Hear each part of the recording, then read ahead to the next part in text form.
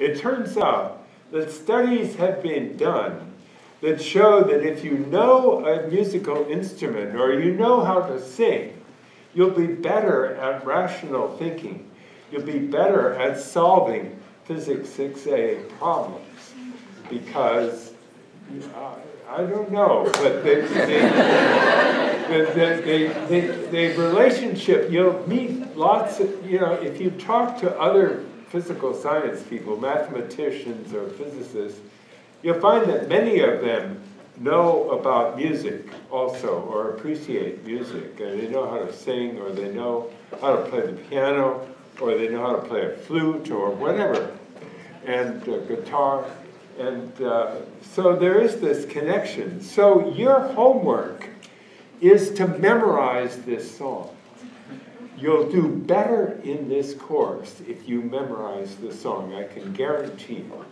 And to get the song, you look up there on the top of the board, there's the URL to where you can get a copy of the lyrics and a copy of the score and even an MP3 file made from a MIDI file uh, for, for, for this song. So get that and memorize it, sing it in the shower, sing it to your roommate, practice it so you have it down cold and you'll do better in this course. You'll get a higher grade on the final, you'll get a higher grade overall.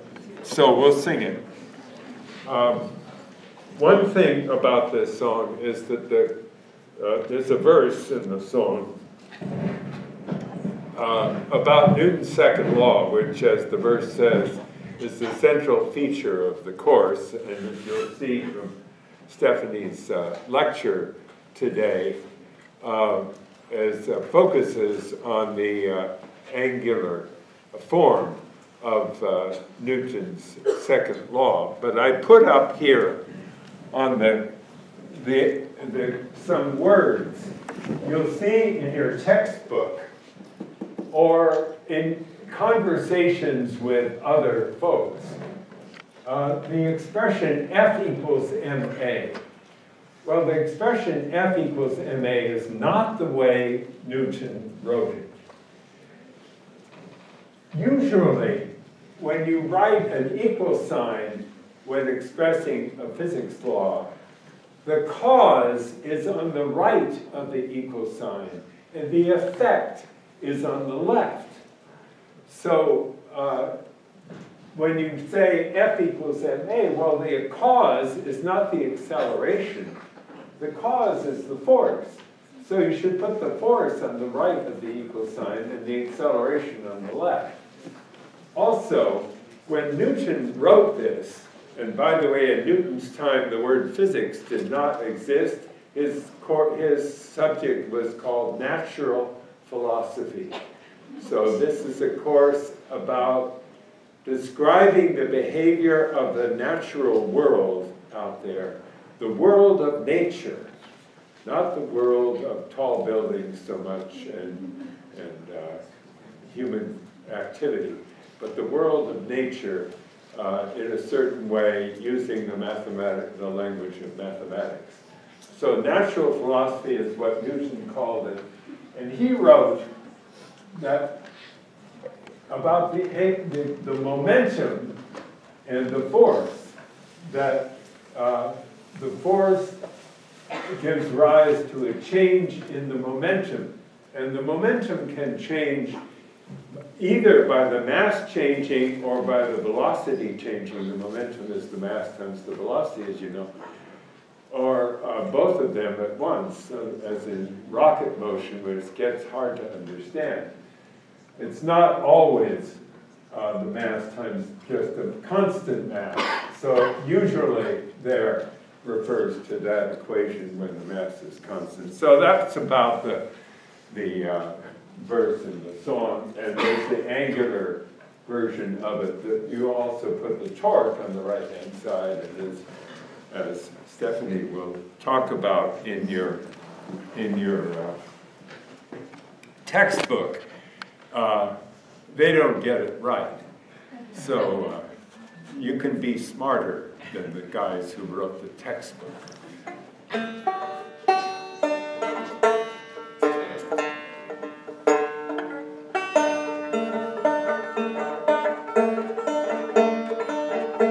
Song is called uh, It's Gravity with a capital G. Uh, it's gravity with a capital G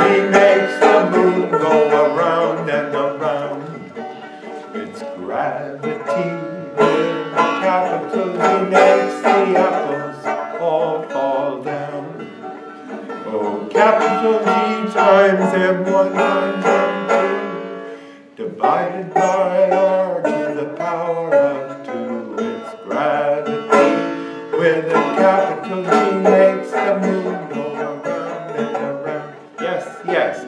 Now, when I say yes, yes, that's your turn to sing the line, and all you do is just repeat the line that I just sang. So if I say, it's gravity with a capital G makes the moon go around and around. Yes, yes. It's gravity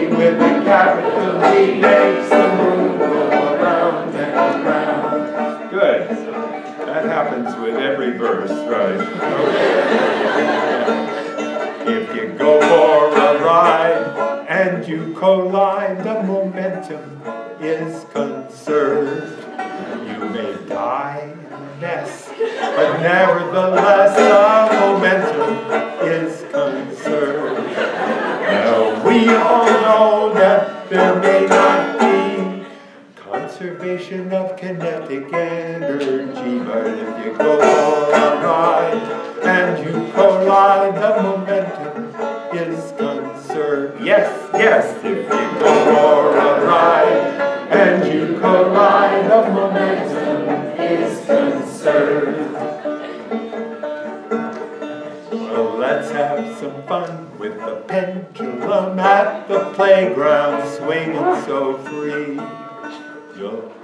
Oscillate, it'll feel so great, get rid of anxiety. Now the time it takes for a cycle is 2 pi root L over G. Let's have some fun with the pendulum at the playground, swinging so free. Yes, yes, well, let's have some fun with the pendulum at the playground, swinging so free. There's a monkey in the tree right up there for all to see. And here comes a hunter with a gun. The hunter takes aim, that's the name of the game, shoots the gun directly at the monkey's bum. But the bullet and the monkey both fall with G, and they meet at the same point in space. So much to his surprise, the poor little monkey died. and the hunter, oh, let me tell you about the hunter. Much to the surprise of the hunter, there materialized upon the scene at the time of this dastardly deed a game warden, who immediately arrested the hunter, charged him with the wrongful taking of an endangered species, and hauled him into court, where he was tried by a jury of his peers guilty as charged and sentenced by the judge to a lifetime, no, to 10 years of hard labor devoted to the restoration of the habitat for the endangered species of our planet. So, that next time that you see a little monkey up in a tree, tell the hunter not to shoot his gun. Yes, yes. Next time that you see a little monkey up in a tree, tell the hunter not to shoot his gun. Well, the next thing that we saw was Newton's second law. This is the central feature of the course. With a mathematical flavor, it describes the behavior of a particle that is subject to a force.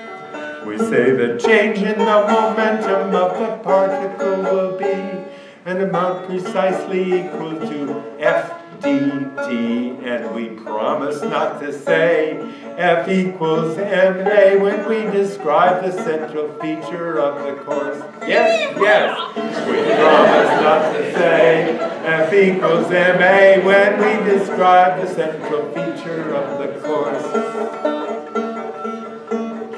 Now we're in the lecture hall with the super balls. What makes that little one fly so high? You drop them on the ground and they rebound and the little one flies up to the sky. Well, just conserve the momentum and also the energy. So when you're in the lecture hall with the super balls, you'll know what lecture hall with the super balls, you'll know what makes that little one fly so high. Yes, yes. When you're in the lecture hall with the super balls, you'll know what makes that little one fly so high. Well, it's time to get the feel of the bicycle wheel and spin yourself right up to speed.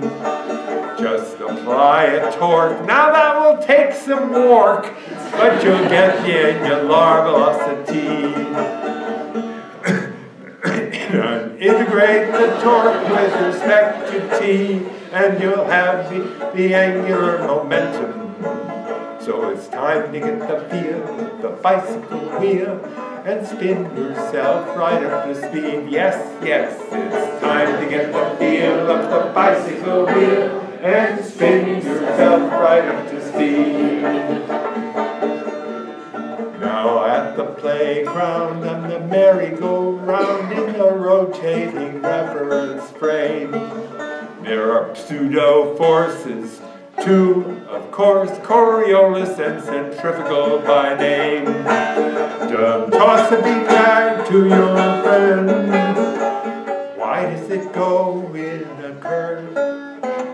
At the playground and the merry-go-round in the rotating yes, at the playground, in the merry-go-round, in the rotating reference frame. Alas, we had no time to deal with Einstein's theory of the special relativity. When your clock will run slow as even if you decide to go on a trip at high velocity. And if at age 21 you should have a son and step aboard a spaceship for a star, well, when you return, you will learn that your son could be older than you are. Yes, yes.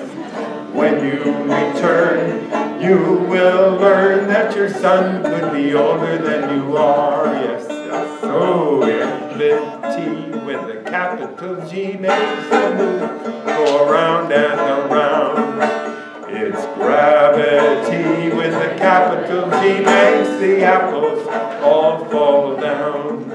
It's capital G times M1 times M2 divided by R to the power of 2 is gravity.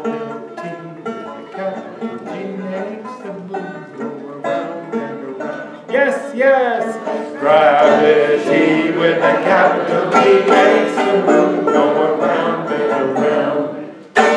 Okay.